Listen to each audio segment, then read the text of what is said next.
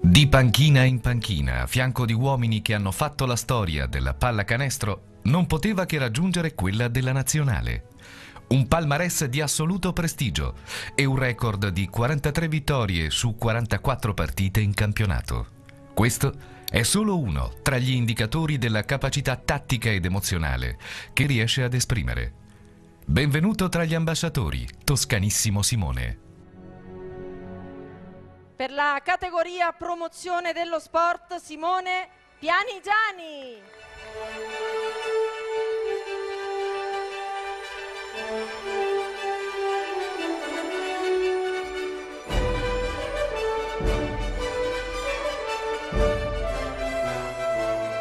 Buonasera, benvenuto Buonasera, buonasera a tutti. all'allenatore grazie. della Montepaschi Siena, nonché commissario tecnico della Nazionale Italiana di Basket. Dove posso cominciare con lei? Non so da dove cominciare. Dai quattro scudetti consecutivi, chiedendole magari dove si trovano ogni anno le motivazioni giuste per ricominciare a riconfermarsi e non avere un senso di appagamento?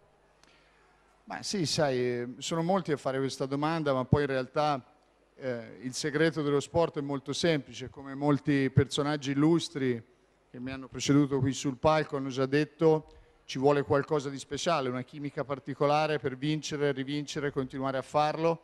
E questo non è un allenatore che infonde qualcosa, ma è un insieme di, di tanti elementi, un gruppo di giocatori straordinari. E ormai oggi anche un gruppo di persone che sta intorno alla squadra, ai tecnici, perché come giustamente stavo detto prima, in qualsiasi campo della vita si vince solo facendo squadra oggi e per vincere a lungo devi avere una grande squadra intorno ai giocatori e all'allenatore. Ecco, parlando della grande squadra, lei ha perso dei pezzi pregiati, no? Quest'anno qualcuno oggi scriveva con la partenza di Sato, Siena è un po' meno imprendibile.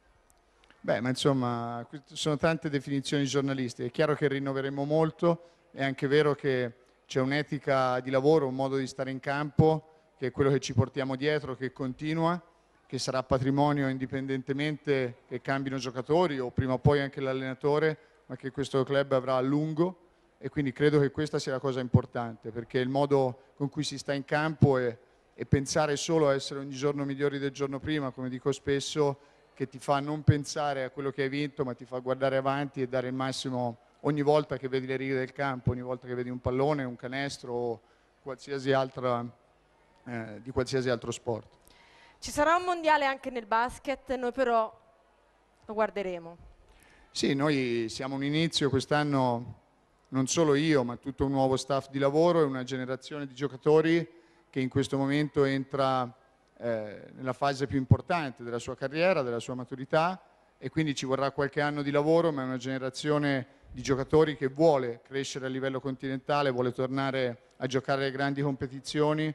C'è uno spirito importante che vedo fin da questi primi giorni, quindi nello sport non si costruisce tutto in un attimo, ma insomma si sente un feeling particolare, per cui mi auguro che se non adesso, ma nel prossimo futuro la pallacanestro italiana torni a livello anche di nazionale, ai livelli che merita per, eh, per quello che sa esprimere e che ha espresso in tanti anni. Il record di 43 vittorie su 44 partite è un fardello pesante da portare. No, ma di record, ne, no, di record ne abbiamo battuti tanti quest'anno- in questi anni, ma come dicevo prima non sono quelli che contano. Poi lo sport ti dà l'emozione di essere lì ogni volta, come qualcuno ha detto, alla fine credo se chiediamo a, a tutte queste persone quello che vinci è una cosa che rimane lì, che ti dà tanto, sono serate speciali, straordinarie anche come stasera, in un contesto così lo sport ti fa vivere queste emozioni, poi a me da, da toscano, da senese fa particolarmente piacere, però poi dopo pensi subito a come ti vuoi allenare il giorno dopo e finché hai questo fuoco puoi continuare a farlo.